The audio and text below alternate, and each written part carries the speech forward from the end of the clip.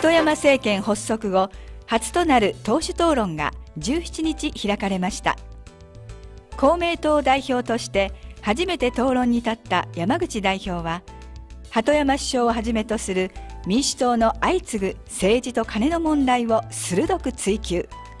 再発防止に向け公明党が提案する与野党協議機関への参加などを強く求めました。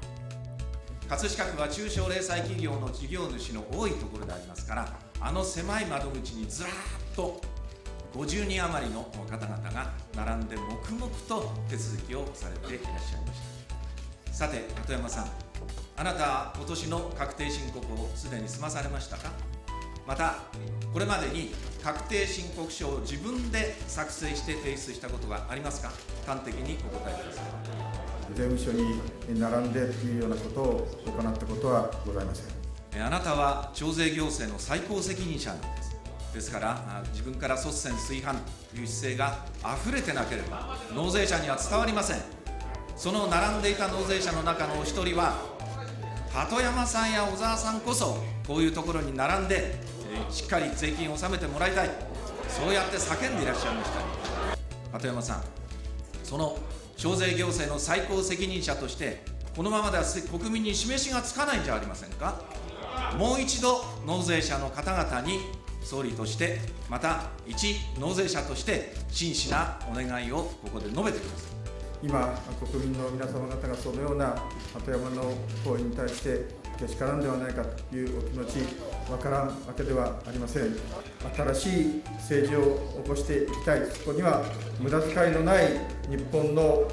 社会というものを作り上げていきたい、そのために国民の皆様方の税金というものを無駄にしない新しい政治というものを、ぜひこれは与野党別なく作り上げていきたいと思っておりますので、公明党の皆様方にもご協力を願いたい、これからそのことをお願いいたします今、総理がおっしゃったその新しい政治を進めようとしても、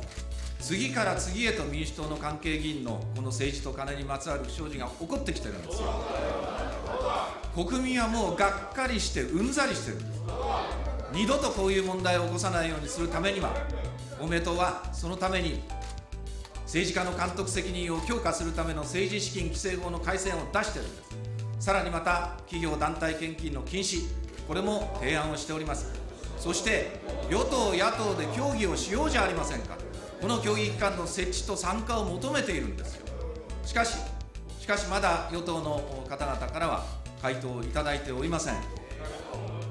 民主党が自らこういう問題を起こして政治不信を招いているんですからその不信を払拭するためにはもっと積極的に民主党が姿勢を示さなきゃならないじゃありませんか鳩山さん民主党の代表としてここではっきりとその与野党協議機関に参加する明確な回答をいただきたいと思います政治資金規正法の改正もこれは公明党さんが大変私は望ましいものを作っていただいていると、そのようにも思っております。民主党としても、与野党の協議機関の設置に賛成をしたい、そのように思っておりますので、大いにこれは各党で協議を進めていこうではありませんか。私もそのことを期待いたします。今おっしゃった総理の心意気、これを国民の皆さんは待っていらっしゃったんです。で、問題は中身なんです。秘書がやったこと、ね、教育採用したら政治家の逃げ道を残しておこうこういう制度ではなくて秘書のこの虚偽記載をやらせないように政治家が自ら監督責任を取る。こういう制度に改めていく必要があるんです。我々が出しているこの政治資金規正法改正案総理賛成していただけますね。今お尋ねのような問題私は今これからの議論の中で先取りしてあまり言い過ぎてもいけないかと思っておりますがぜひ成案を得るように民主党としても努力をしてまいりたいそのように思います。公明党の山口那津男代表と新介護ゴールドプラン検討委員会は2月24日首相官邸で公明党の介護総点検を踏まえて取りまとめた政策提言新介護公明ビジョンを鳩山首相に手渡しました。はい、それでは、えー、私の方からまずご説明させていただきます。え今日10時から官邸で、えー、私どもが昨年調査をいたしました結果をもとに、えー、新介護公明ビジョンを総理に提言をさせていただきました。新介護公明ビジョンというものであります。これは政策提言が12の主要なものとそれから64のより具体的な施策とそれからま調査の結果を分析したもの。そしてそれぞれの調査のデータを処理したものという構成で、えまとめたものであります。これらを総理に提案した上で、えその調査に対する経緯が冒頭示された上でですね、えそれからはその施設の不足というところにやはり対応する必要があるという認識が示されました。でこれは具体的に今後とも政府として検討していきたいというお話でありました。それから在宅のところでは特にそのレスパイトケアに対する総理の理解が得られました。強い関心を示されました。この介護の問題の提案については大きな方向性としては我々と一致しているという総理の認識もございました、えー、ですから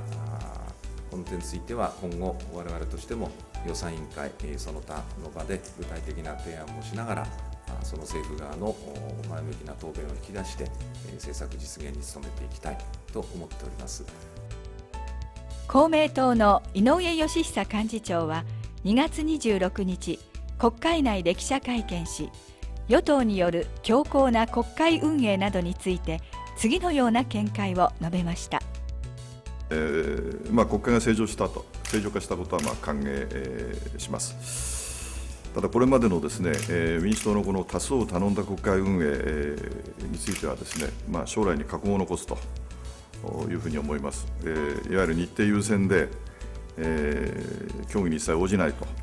まあ、こういうあの民主党のこれまでの対応についてはですね、私はまあ猛省を促したいというふうに思います。で本来、民主党はあの政治主導ということで、えー、国会は与野党の議論の場というふうに位置づけてきたわけですから、やはり十分なあの審議時間を取るということが、その趣旨であろうというふうに思います。まあ、それにも反するわけでございまして、えー、日程優先で、えー、一切譲らないということではなくて、えー、十分な審議時間を取るということを今後、えー、主張していきたいというふうに思います。で特にあの、まあ、政治と金の問題についてもですね、えーまあ、関係者の国会における説明の機会は一切ないわけで、まあ、説明責任が果たされてないと、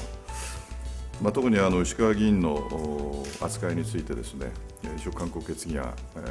審議採決に応じないと。いうこともございますし、えー、石川議員自身がですね、えーまあ、週刊誌のインタビューにまあ応じているということは報道されているわけでございまして、えー、週刊誌のインタビューに応じて国会における説明責任を果たさないということは、これはまあ有しい事態であって、えー、民主党の対応が問われているというふうに申し上げたいと思います。